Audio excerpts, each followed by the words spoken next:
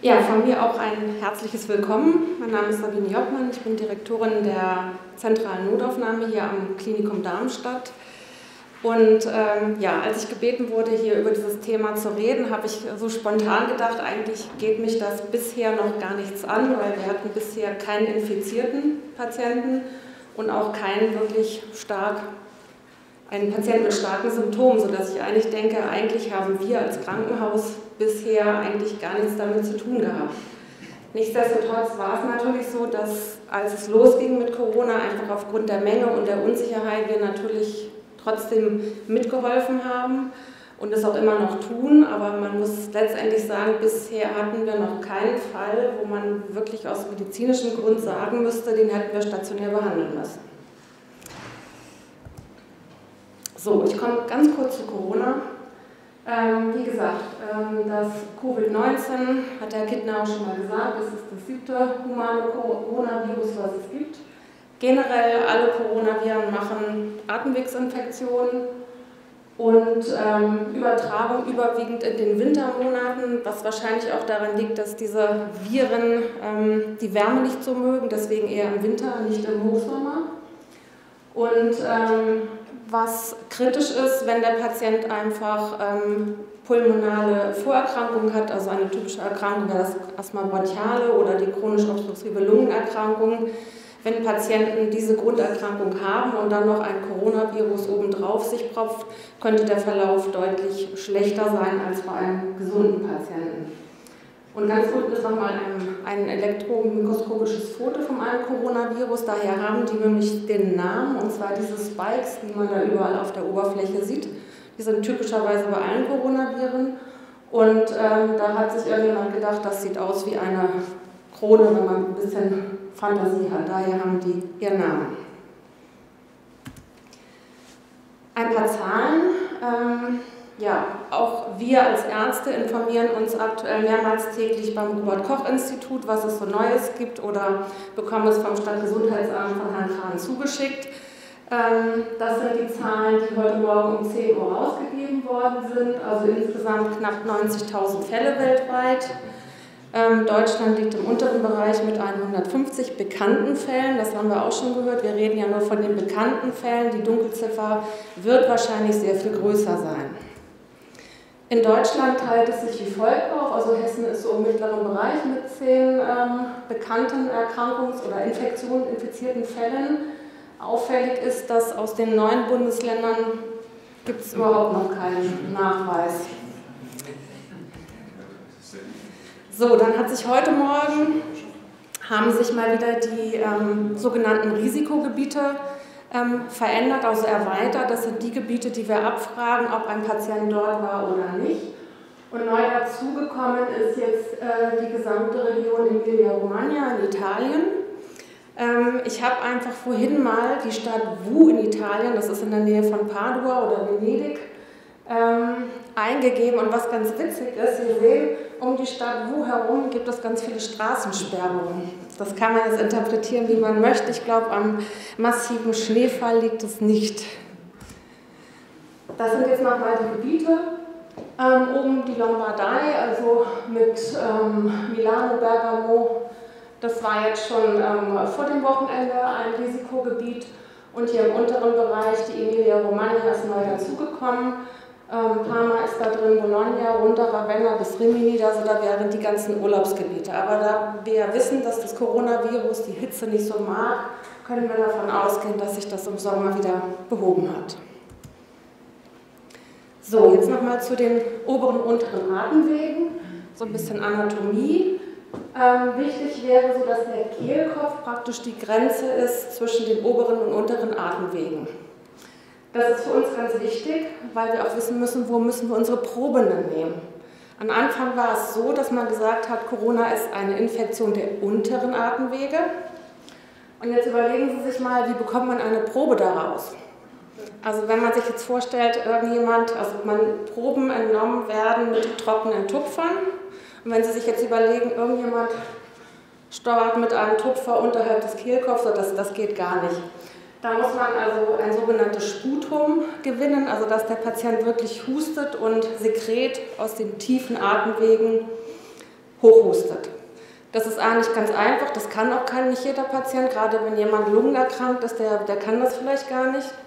Und was auch dabei noch eine wichtige Sache ist, dass es natürlich auch für denjenigen, der das entnimmt, ein relatives Risiko ist. Weil wenn man irgendwas hochhustet, ist die Gefahr relativ groß, dass eben Spritzer mit herauskommen. Aber neuere Erkenntnisse haben jetzt gezeigt, dass Corona sehr wohl in den oberen Atemwegen, wenn vorhanden, auch vorhanden ist, sodass man jetzt einfach aus dem Nasenrachenraum mit diesen Tupfern diese Probe gewinnt.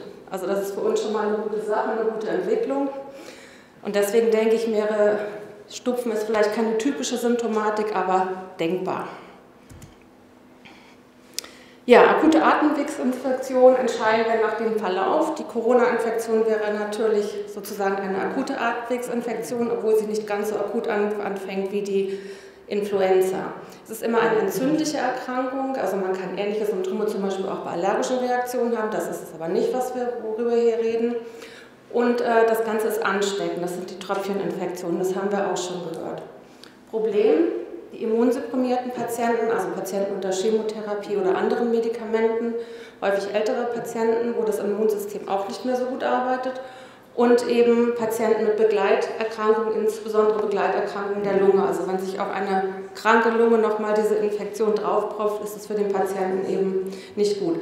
Also auch ich habe in meinen Recherchen nachgelesen, dass Schnupfen sehr wohl dazugehört, Halsschmerzen, Husten, Auswurf, Fieber, alles was man so bei Grippe hat.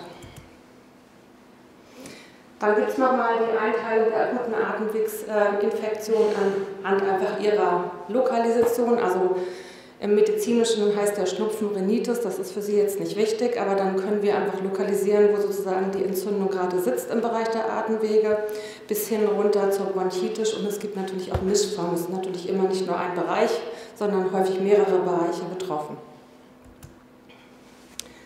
Das ist jetzt mal ein Schema, wie ähm, die Atemwegsinfektion, die Tröpfcheninfektion üblicherweise vor sich geht. Also es gibt durch die Luft Tröpfchen getränkt Speichel-Nasensekret und das Ganze kann sich dann an Gegenständen wie Tischen, Türklinken, natürlich auch in der Straßenbahn festsetzen und wird dann über die Hände übertragen. Wie schützen wir uns davor? Also wir hatten ja schon gehört, dass es nicht sinnvoll ist, jetzt jeden Menschen mit einer Maske und Handschuhen auszustatten. Ähm, die Maske oben links, die grüne, das ist ein normaler Mundschutz ähm, wie er bei nicht hochinfektiösen ähm, Erkrankungen auch im Krankenhaus getragen wird und ähm, wie wir Patienten, die wir Patienten auch aufsetzen, die infiziert sind, zum Beispiel auch mit Tuberkulose oder auch mit Corona oder Influenza, wenn ein Transport durchs Haus notwendig ist. Die beiden Masken daneben, das sind sogenannte FFP2 oder 3 Masken mit und ohne Ventil. Das sind äh, keine Masken für unsere Patienten, sondern das sind ähm, Masken für unser Personal, die mit infizierten oder wahrscheinlich infizierten Patienten hand, handhaben oder die behandeln müssen. Sie können sich vorstellen, es gibt viele Sachen, wo man dem Patienten sehr, sehr nahe kommt. Also bei der, bei der Probeentnahme kommt man ihnen nahe. Ähm, jeder Narkosearzt, der die Narkose einleitet, ist dem Patienten extrem nah. Oder wenn ein Patient bronchoskopiert werden muss, das sind alles so Sachen, wo wir als Personal dem Patienten sehr nahe kommen und eine Tröpfcheninfektion sehr wahrscheinlich ist. Dann würden wir diese Masken äh, tragen.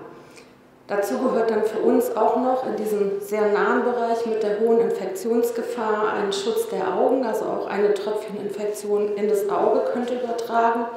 Es gibt Schutzbrillen einzeln oder eben auch so ein ähm, Mundschutz kombiniert mit einem Augenschutz. Kittel hatten wir auch schon ähm, gehört, das tragen wir auch. Einfach auch um, äh, wir haben Kontakt zu mehreren Patienten und wir wollen natürlich nicht einen Erreger von Patient A nach, nach Patient B übertragen. Deswegen ziehen wir einen Kittel an, wenn wir am infektiösen Patienten sind, ziehen den aus und sind dann sozusagen nach Ende der Sektion wieder sauber für den nächsten Patienten. Ja, zum Hände desinfizieren haben wir A, die Seife, das haben wir schon mehrmals ähm, gehört, also dass normales, gründliches Waschen der Hände mit Seife ausreichend ist, um den Coronavirus sozusagen von der Hand abzubekommen. Oder eben die Hände Desinfektion mit Desinfektionsmittel, wie unten rechts zu sehen. Ähm, wichtig ist bei beiden, haben wir auch schon gehört, dass man es richtig macht, also die Hand von innen, von außen, von, also die Fingernägel zwischen den Fingern. Das ist wichtig, dass das alles sozusagen bearbeitet wird. Ja, was kann man tun, wenn wir jetzt bei Corona sind? Ähm, ja, wichtig ist immer noch mal zu fragen, waren wir in einem Risikogebiet, ja oder nein? Ist ein Kontakt zu einer, einer infizierten Person ähm, wahrscheinlich?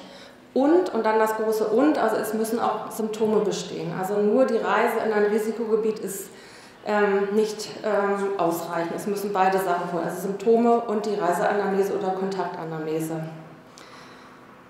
Generell kann man natürlich sagen, ähm, je weniger Kontakte ich habe, umso weniger ähm, wahrscheinlich ist, dass ich mich infiziere. Aber es schränkt natürlich auch ein, da muss jeder, glaube ich, seinen, seinen Mittelweg finden. Wichtig ist natürlich beim Husten und Niesen einfach Abstand halten und sich wegdrehen. Das ist einfach auch, finde ich, eine Form der Höflichkeit. Das sollte eigentlich selbstverständlich sein. Im Moment würde ich, wenn ich benutze, einmal Taschentücher benutzen und die dann auch entsprechend gleich entsorgen. Das hilft vielleicht auch noch. Hände regelmäßig waschen haben wir auch schon gehabt und ähm, einen gewissen Sicherheitsabstand. Also wir haben bei uns in der Aufnahme, in der Notaufnahme, in der Anmeldung ähm, den Bereich, wo der Patient sitzt, zu der Aufnahmekraft einfach auf zwei Meter erweitert, dass wenn der Patient mal husten muss oder niesen muss, eben nicht direkt angenießt wird, die Aufnahmekraft. So, Großveranstaltung. Ich glaube, hier sind wir noch nicht bei einer Großveranstaltung, aber gibt es natürlich durchaus Diskussionen. Also der Genfer Autosalon ist gerade abgesagt worden. Das äh, ja, muss jeder selber ähm, entscheiden, aber ich glaube, wenn man sich ähm, normal verhält und die Hygieneregeln einhält, ähm, muss man sich jetzt nicht so einschränken, dass alles abgesagt werden kann. Probleme bei Großveranstaltungen ist teilweise die Belüftung, also Klimaanlagen, die die Luft von A nach B nach C verteilen. Das könnte ein Problem sein.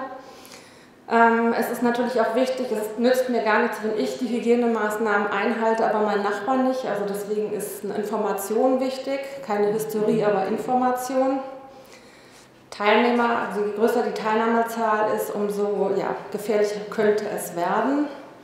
Und es gibt natürlich auch ähm, die Möglichkeit, theoretisch finde ich, dass man vor solchen Veranstaltungen die Patienten einfach screent, also praktisch nochmal diese Reiseanamnese abfragt, die Kontaktanamnese abfragt und fragt, ob sie ähm, irgendwelche Symptome haben. Aber wenn man sich das bei einem Konzert, einer Großveranstaltung ähm, vorstellt, ist mir nicht so ganz klar, ähm, wie das laufen soll. Das ist sicherlich nur ein theoretischer Aspekt des Ganzen. Ja, die Nummer haben wir auch schon gesehen. Das ist die äh, vom Hessischen Ministerium für Soziales geschaltete Hotline für Patienten oder für Mitbürger, die Fragen zu Coronavirus-Viren haben. Ähm, die Zeit ist sogar bis auf 20 Uhr jetzt ähm, erweitert worden. Ansonsten, wie Frau Mensing schon so schön sagt, ähm, ist der Hausarzt natürlich auch Ansprechpartner, beziehungsweise außerhalb der Öffnungszeit der ärztliche Bereitschaftsdienst. Und ähm, ja, wir im Krankenhaus würden eigentlich gerne nur Patienten sehen, die so schwer erkrankt sind, dass sie die stationäre Behandlung auch bedürfen. Das ist im Moment leider noch nicht ganz so. Und ich habe gerade mit Herrn Kran vom Gesundheitsamt nochmal gesprochen. Ähm, auf dem Flow-Schema des Robert-Kochs-Instituts steht es aktuell noch so drauf, dass bei sicherer ähm, Infektion mit einem Coronavirus die stationäre Behandlung angeraten wird. Aber auch da muss man sagen, wenn es ein leichter Verlauf ist, ähm, ist es eigentlich nicht notwendig und äh, da können Sie ja vielleicht gleich nochmal was dazu sagen. Ja, dann ich, wäre ich am Ende meiner Rundfahrt und ich stehe zur Frage, für Frage zur Verfügung. Ja, äh, wie verhält man sich am besten im Flugzeug? Also da wird ja nur durch die Klimaanlage alles sehr schön durcheinander gewirbelt. Ja.